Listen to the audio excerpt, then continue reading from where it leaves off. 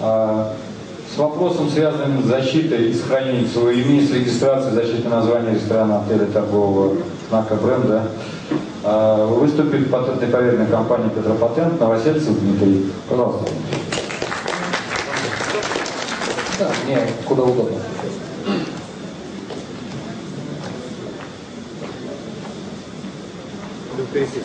Вы знаете, я, наверное, стою, потому что мне так удобнее. И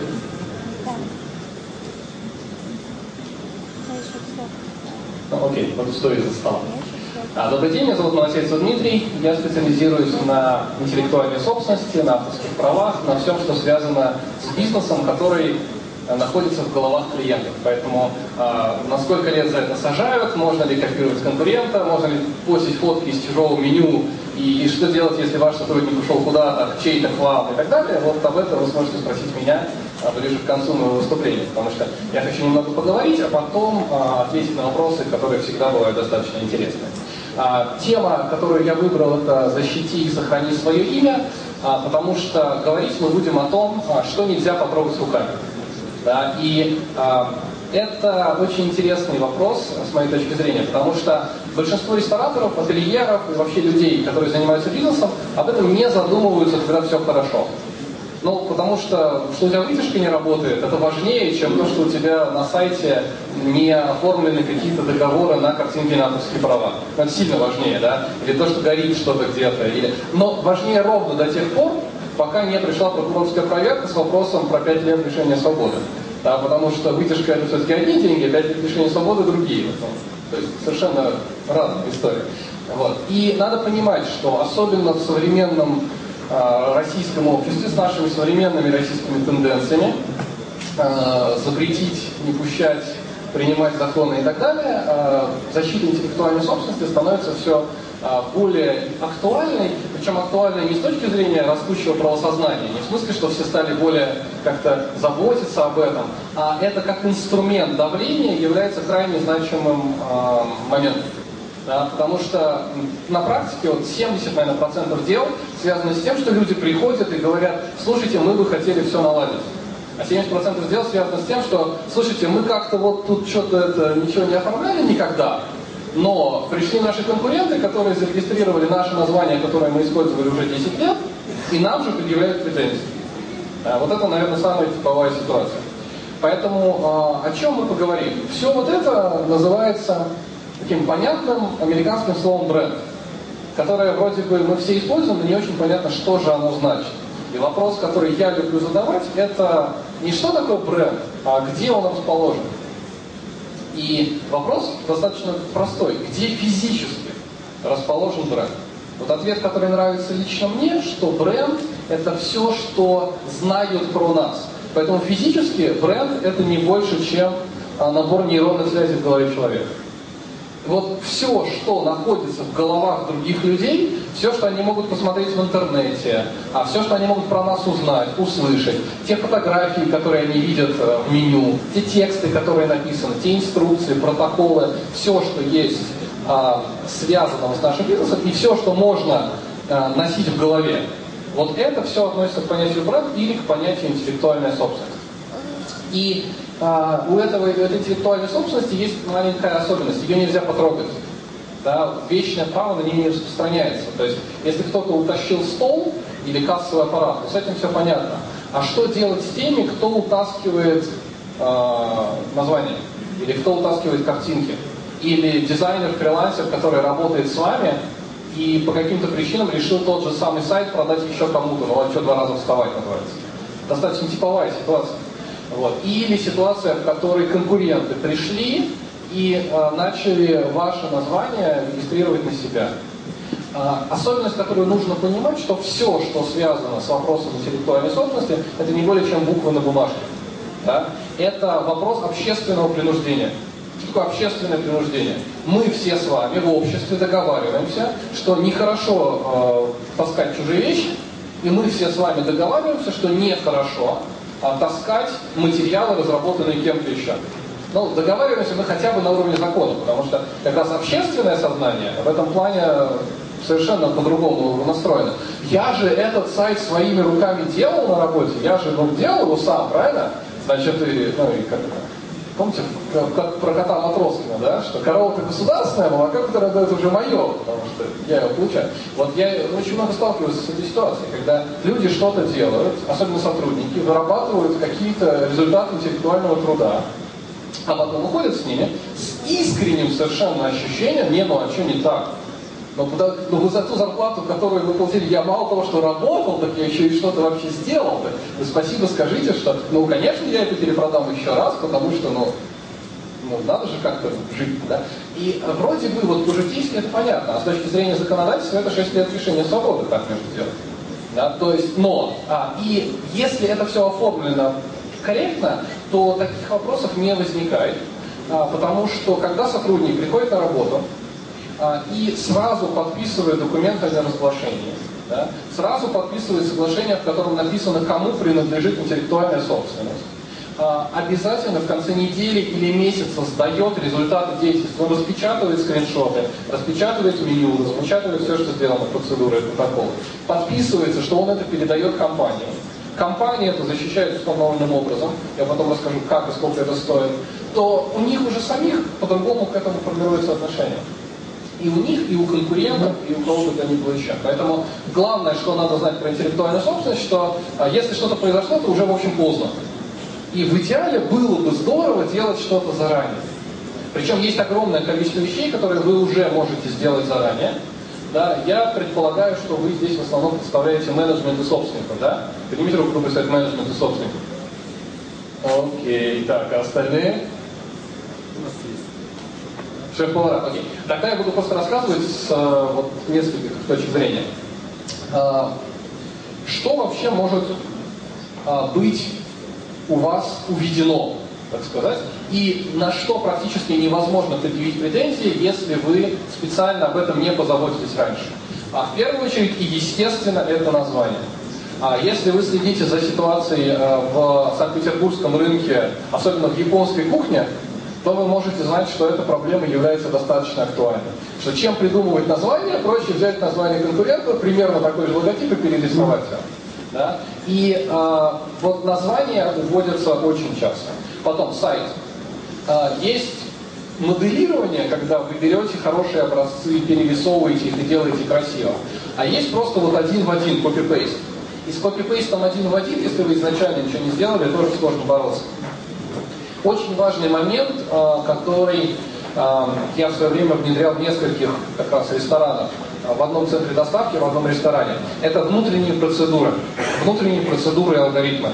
Потому что при той текучке, которая есть э, в общественном питании и в отельной деятельности, защитить внутренние процедуры становится значимой задачей. И понятно, что все, кому вот в голову приходит открыть ресторан, э, по крайней мере, думают о том, чтобы пойти поработать в Макдональдс, да, но, по крайней мере, э, внутренние стандарты и процедуры Макдональдса не лежат нигде в открытом доступе. В отличие от стандартных процедур многих других ресторанов. По понятной причине, потому что связываться с Макдональдсом в этом плане себе дороже. Да, и те, кто имеют доступ к этим процедурам, они столько всего подписывают, что они несколько раз задумываются, что, может, я лучше сам перескажу. А когда они сами пересказывают, это получается, что ну, как повороте. Сосед вам напел повороте в ванной, да? Вроде тоже повороте, но как-то вот не совсем повороте. Э, вам нужно сохранить ваши оригинальные процедуры, которые у вас есть. И алгоритмы, естественно, также.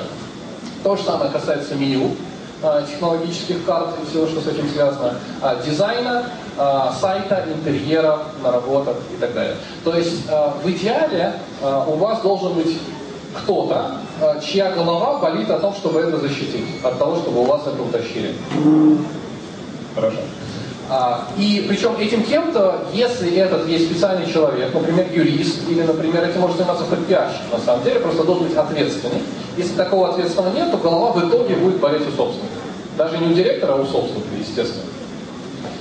А, что вы можете сделать? О чем вам нужно задуматься? Я вкратце расскажу, какие процедуры бывают, а, что можно с этим делать и сколько это примерно стоит.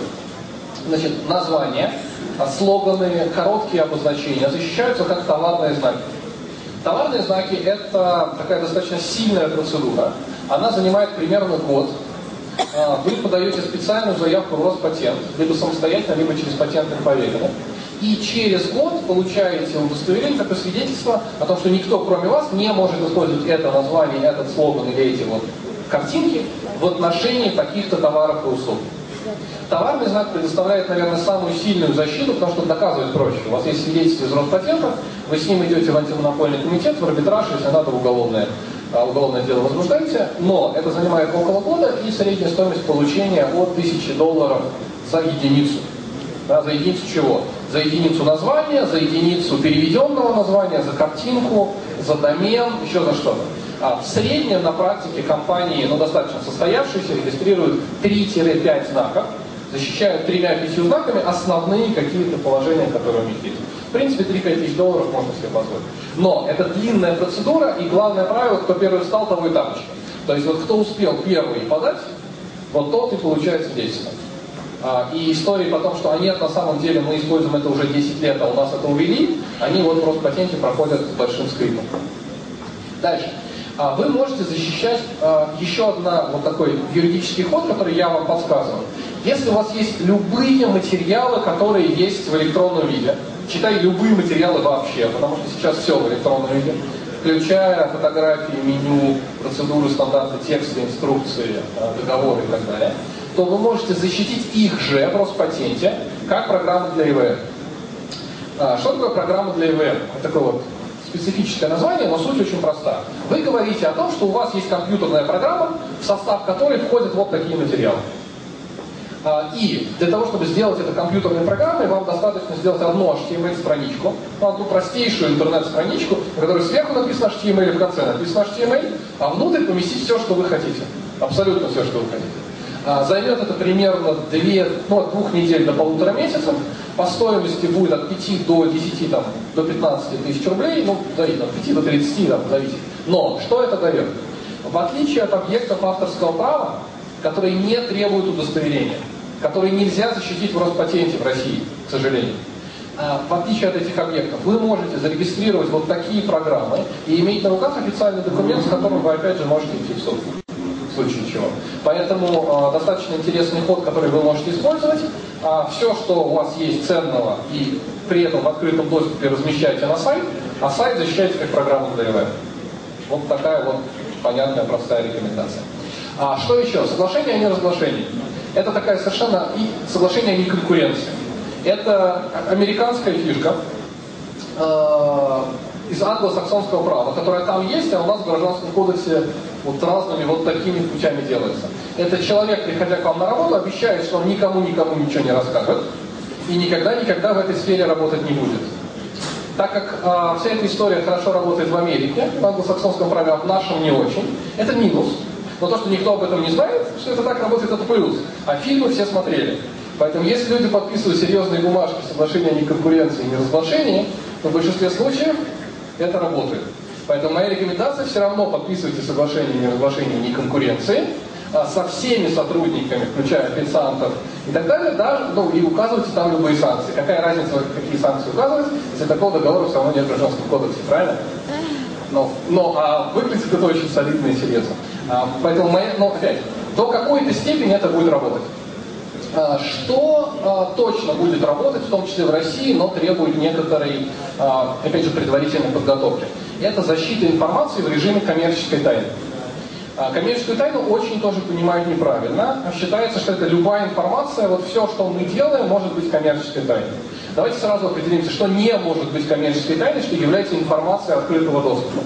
Ваши обороты, доходы, расходы, количество сотрудников, а, внутренние технологические процедуры, которые вот по законодательству должны быть, не могут быть коммерческой тайной. То есть сколько вы зарабатываете, сколько у вас сотрудников, не может быть коммерческой тайной в принципе.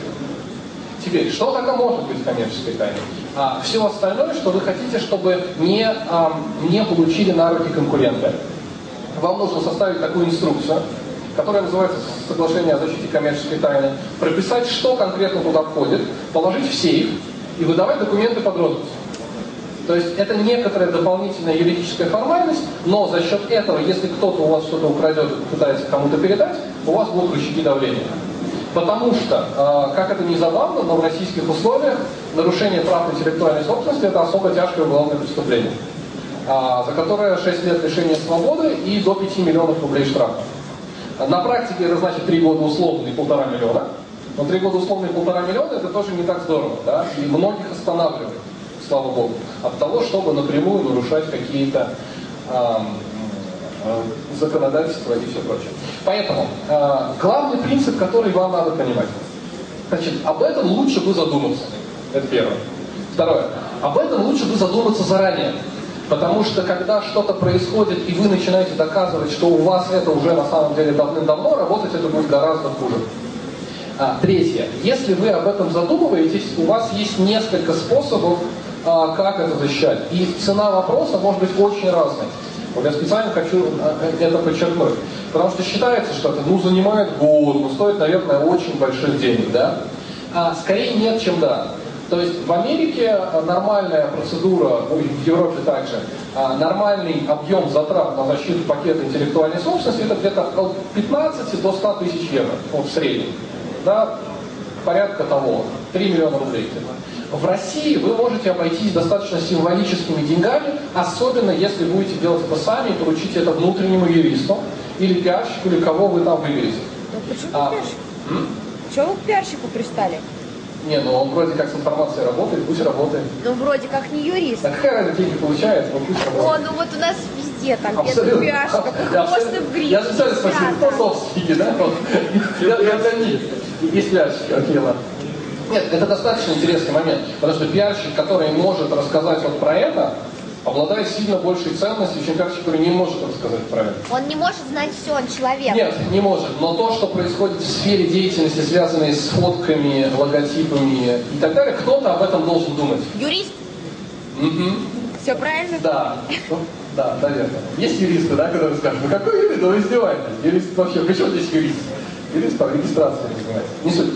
А, что вы можете сделать? Это может делать сам собственник, это может делать директор, пиарщик, юрист или кто угодно, неважно. Но кто-то это должен делать, это важно. А, что а, первое, вы можете просто взять, купить а, услугу по защите для вас это сделают под ключ. Причем полный пакет оформления под ключ вам в России обойдется где-то от 200 до 500 тысяч. Вот если вы скажете, а я все хочу, а что хочу, а все. Да, вот в эту сумму можете рассчитывать, что вы уложите. А если вы хотите сэкономить, то надо защищать в первую очередь товарные знаки и нужно внедрить внутренние процедуры. Товарные знаки, как я и сказал, там самое дорогое это госпошлина. Там госпошлина около 25 тысяч на один знак. Это даже не стоимость работы у юристов. Это именно госпошлина очень дорого стоит. Но что не стоит почти ничего, это защищать свои сайты и вот составить пакет материалов, а, который будет подписывать каждый ваш сотрудник. Это вам обойдется порядка, наверное, там, 30 тысяч в среднем. А, Если еще дешевле, то вы можете а, купить специальные инструкции для своих юристов. В среднем это стоит по 3-5 тысяч за направление. И с помощью этих, вот этих инструкций, по этим инструкциям ваши юристы будут для вас делать это за ту же ставку, которую они и так получают. Потому что, ну вот, они вроде как и так получают зарплату. Поэтому цена вопроса будет, скорее всего, от 3000 рублей, если вы купите просто инструкции, до там 300-500, если вы э, закажете э, работу под. Это такая вот основная часть, э, которую мне хотелось сделать такой overview. А у меня сейчас есть время на буквально несколько вопросов или практических ситуаций, которые я могу прокомментировать. Да, пожалуйста. Скажите, пожалуйста, можете дать какие-то практические советы по защите базы данных постоянных клиентов, кроме вышеперечисленного? Например, все есть, защита от копирования есть, да? Я имею в виду базы постоянных клиентов, корпоративных партнеров, дисконты, скидки и так далее. А, тут два, два, два- два момента. То есть первое, а, защиты от кого? От работников. Вот, от работников. То есть первое, это если у вас э, пакет материалов о коммерческой тайне, да, которые они все подписывают, и эти материалы передают сотрудникам по подписи. Второе, техно- если технологически это реализовано, то самый красивый способ, который я видел, это когда у сотрудников вообще нет доступа к базе данных, в принципе, кроме одного конкретного э, поля, которое им нужно прямо сейчас. То есть, когда они кого-то обзванивают, да, они им, ну то есть вот те, кто обзванивают, те, кто контактирует, у них в режиме онлайн на компьютере всплывает вот это и Фактически. Да, это специальная компьютерная программа, которая выводит на экран только одну строчку из этой базы данных, ее невозможно скопировать целиком. А, дальше. А, если вы есть а, защита баз данных как таковая, то есть есть юридическая процедура, которая называется защита базы данных. А, это так же, как защита программ для ИВМ делается примерно. А, плюс ее в том, что она даст вам защиту этого материала, и вы можете легко обратиться в суд. Минус в том, что э, надо проверить, защищены ли у вас, если у вас есть пакет материалов по защите личных данных, персональных данных. Потому что вопрос с персональными данными, это вопрос, который, вы знаете, висит над всеми, да, никто за него особо по голове пока не получает, но вообще это серьезно, это требует лицензии ФСБ, это требует специальной... Ну, а куда реально приходят проверки? Они приходят, проверяют ЖСК, вот у вас ЖСК дома есть ТСЖ, да, какое-то? Вот если к нему приходят и проверяют, у, него есть список вас и ваших телефонов, то за это ТСЖ должно получить штраф в размере 200 тысяч рублей. То есть сам факт наличия адресов, э, фамилий, телефонов так далее в этой базе данных является вопросом, требующим урегулирования с точки зрения закона о защите персональных данных. Если этот вопрос решен, тогда вы спокойно подаете на защиту как базу данных. Если не решен, тогда лучше делать вот эти соглашения и делать это внутрикорпоративным вопросом, чисто таким договорным. Так, еще вопросы? Да. Да. Ну, то есть лучше место, потому что не слышу.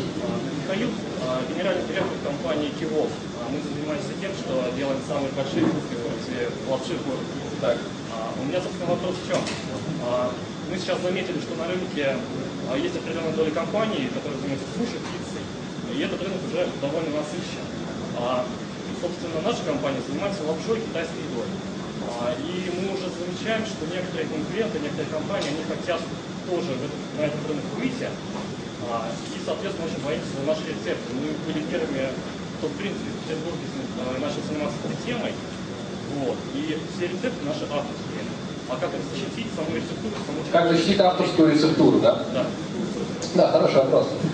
А, то есть а, есть несколько вещей, касающихся рецептуры. Рецептура может быть а, той, которая внутренняя, которую знают только сотрудники компании.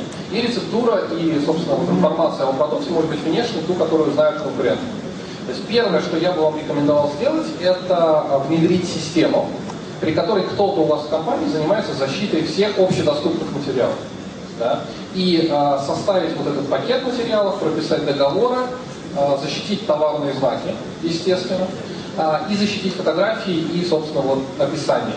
Потому что то, что я видел, особенно в сфере японской кухни, это вот копирование прям один в один, а это не здорово.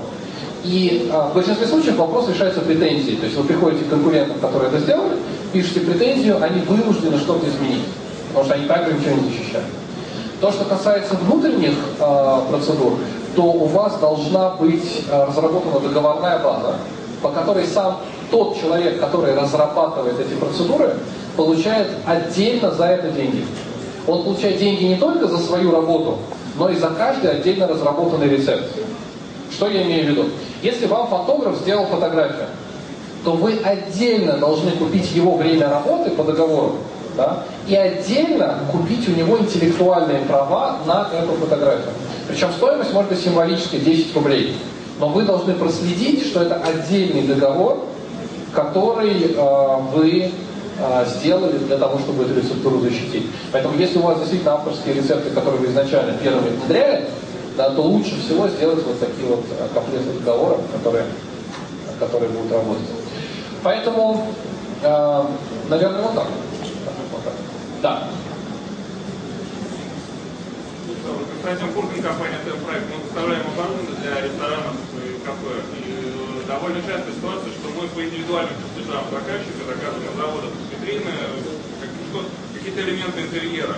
Как потом заказчик другой может увидеть у нас, попросить э, выполнить то же самое. Если мы не имеем распоряжения от этого заказчика не делать то же самое, мы в принципе делаем. Но есть ли в этом какая-то опасность? А, опять, тут, э, смотря, смотря- мы, мы кого защищаем, да? Мы за, за заказчика или мы за исполнителя? Мы, мы это всегда, безусловно, за заказчика, но при прочих равных, конечно, хочется продать.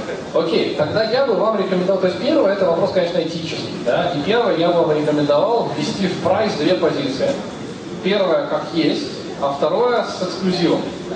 Так как вообще неизвестно, купят у вас когда-нибудь в будущем такой или не купят, а сейчас получить на 25% больше, ну тем плохо. Да? Это очень нехорошо срабатывает. То же самое продается, но с эксклюзивом. А он эксклюзив по умолчанию, послушайте. Вот, в принципе. А, это, это первое. Второе. Что будет значить этот самый эксклюзив?